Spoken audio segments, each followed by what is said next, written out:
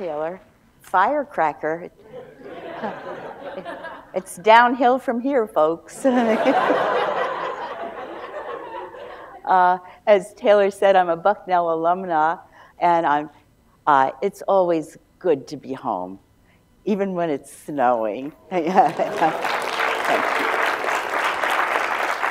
I graduated from Bucknell in 1953. The situation then was freshman women had to be in at 8 o'clock. The rest of us women had to be in at 11. Uh, there was a house mother on every floor and sometimes two. So uh, uh, out of that came Philip Roth and Portnoy's complaint. Go figure. Uh, uh, my topic today is can you, can you jumpstart, can you kickstart creativity? And the answer is sometimes yes and sometimes no. But to get ready for today, I uh, interviewed about 40 people. Um, I talked to novelists and, and, poets and composers and painters, uh, scientists, doctors, lawyers. I even interviewed some Bucknell professors and, uh, and of course, some Bucknell students. And so I, would like to share where we came out. Uh, before we plunge in, though, I, I must tell you that I am a, a writer, but I'm an advertising copywriter. Uh, and I started my career in the 1960s, the sexy, sexist era of television's Mad Men. And uh, uh, I wrote uh, my book, Mad Women. I wrote Mad Women a couple of years ago, and because of the enormous success, it's a real story of what it was like to be an advertising woman in that era. And because of the enormous success of Mad Men, I was interviewed everywhere by ABC and CBS and NBC. My two daughters were very impressed. I even made the Huffington Post. They thought that was. But I, I began to anticipate that the media was always going to ask me the same three questions. They would say, Were women treated like second class citizens back then? And I'd say, Well, not all the time. And they'd say, Did you guys actually have three martini lunches every day? And I'd say, Well, not every day. and then they'd lean forward and ask very confidentially, uh, was there all that much sex in the office? And I'd say, yes.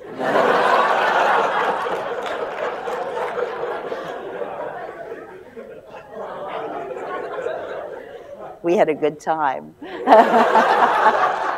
uh, uh, those were the days. now, now we're going to get serious and plunge into five ways to kickstart creativity.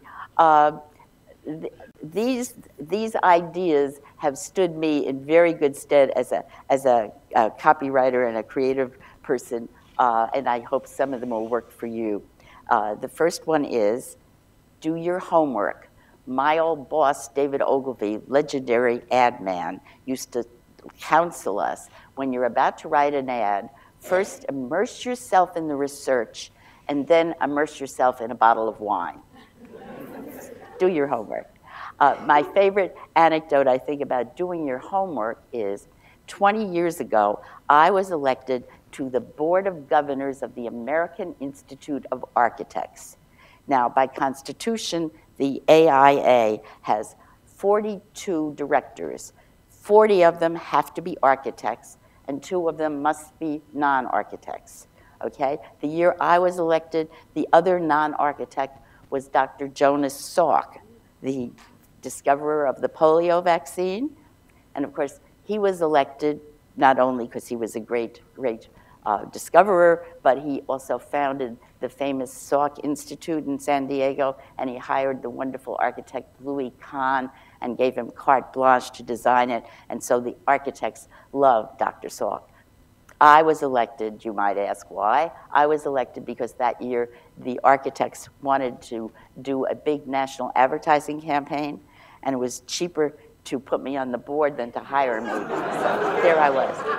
Anyway, Dr. Dr. Salk uh, told us that he was working, he knew there was a polio vaccine to be discovered. He knew it, and he worked for years in the, at the University of Pittsburgh in this dark, dank basement laboratory, and it just wouldn't gel.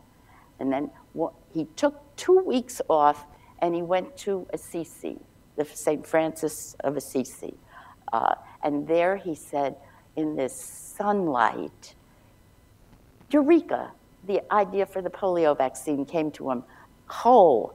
And, and I think, however, that he had done his homework. He was ready to come up with that idea. He could have gone from the sunlight into the basement, and he still would have come up with the idea. Uh, uh, Louis Pasteur is a wonderful quote. He says, Chance falls upon the prepared mind. Chance falls upon the prepared mind. I, I, that's a big help to me. I think we all know that uh, Newton had been working on the theory of gravity for a long time before he sat under that, that apple tree. Okay, Kickstarter number two is get moving. Uh, uh, for some reason, motion helps creativity. Mozart said he would work and work and work on a symphony and it wouldn't come together, and then he'd go for a walk in the woods, and suddenly, at the end of the walk, he'd have the whole symphony playing in his head. Uh, Joyce Carol Oates tells us that she writes all her novels while running in city streets. She doesn't see the city streets, but it's all inside her head, and there come her novels. Uh, mindless motion seems to work. That's why so many of us get ideas while we're in the shower.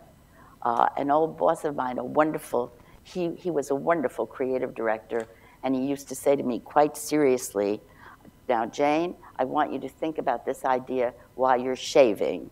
And I would say to him quite seriously, Yes, I will, I will do that. so, uh, get moving, it works. Uh, number three is connect, connect, connect. and you've heard a lot about collaboration today. Uh, Joe Tranquillo, of course, is doing pioneering work in collaboration. And I got to know Joe as we worked together uh, on this event today. And by the way, Dean, Dean Buffinton, who is an, a great new friend of mine, asked me very graciously if there were anything I would like to take back to New York as a memento of today. And I said, yes, please, just one thing. Joe Tranquillo.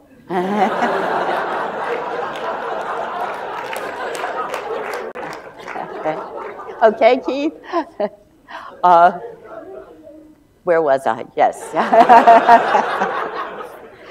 uh, collaboration. Collaboration in the sciences, in many of the sciences, has become increasingly not only important but essential because of the amount of data that's out there, uh, the complexity of, of the techniques and the various sciences involved, and uh, Nobel Prizes, the number of Nobel Prizes awarded in the sciences uh, to teams of two or three has dramatically increased in the last 15 and 20 years. However, no Nobel Prize has yet been awarded to a team in uh, literature. I, I, haven't heard yet of a team that's written a great tragedy. Could happen. Uh, and uh, the, uh, I, for, this, for this talk today, I interviewed Gary Sojka, your former Bucknell president, uh, who is a microbiologist.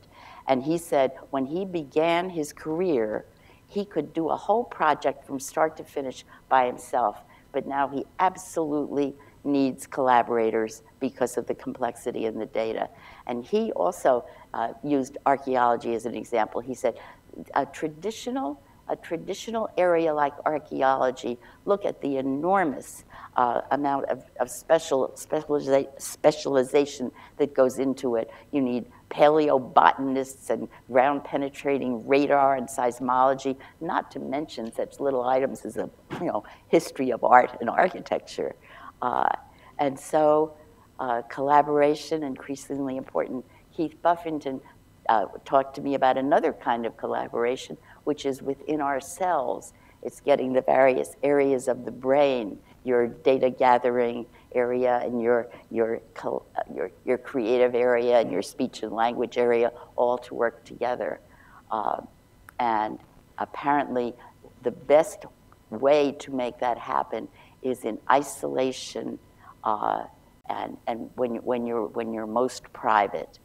Uh, I, a number of the creative people I talked to said they did their best work when they were most isolated and most lonely. That's, that's tough advice, but there it is. Uh, look for something bad to happen. It doesn't necessarily have to be cataclysmic, although I think we all know great creative work has come out of prison cells and concentration camps. Negativity can be a great force for, uh, for, for, helping, for helping creative things to happen. A small anecdote. When I was working in the 1960s as a copywriter, you men who ran everything in those days put us women copywriters into a sort of category ghetto of what we could work on and what was appropriate for us. Uh, like baby food, you thought was appropriate for us. Uh, there were some things you would not let us work on. For instance, you wouldn't let us work on cars because you figured we didn't know how to drive. You figured you wouldn't let us work on finance because you figured we didn't know how to balance our checkbooks. And you would not, by any stretch, let us work on alcohol or beer because that's what you used to seduce us, and you thought we didn't understand that at all. So, so uh, uh, for, for, for, some, for some reason, uh, uh, any kind of, of negative pressure can be a, a real help to creativity. So look for something just a little bad. And finally, Kickstarter number five is put your head down and do it. I have a friend who runs marathons, and that is his mantra, and I use it a lot when I'm in any kind of a, a creative or any kind of a bind. Uh, I think a wonderful example of put your head down and do it is Philip Roth. Philip and I were here uh, at Bucknell at the same time. We became friends then. We have remained friends to today. So now we've been friends for 63 years. Philip, every day of his adult life, from the time he started writing until he stopped writing two years ago at the age of 80, every day of his life, he would get up, have breakfast, go stand at his writing desk, and work and write until four in the afternoon. And he said some days he would salvage a whole sentence, and some days a phrase, some days just a word, but and some days nothing. But then he'd get up the next day and start over again. Put your head down and do it. Uh, a Bucknell alumna who is CEO of one of this country's largest chains of successful retail stores, uh, told a group here on campus that she likes to hire Bucknellians because we have a bias for action. Yeah, I heard murmurs saying, yes, we do have a bias for action. We do, and I think that's part of the reason that our campaign theme is, is so right for, so perfect for Bucknell. And I hope for the rest of your lives, you will keep saying, yes, we do, we do, I do. And luck, success, blessings, and thank you.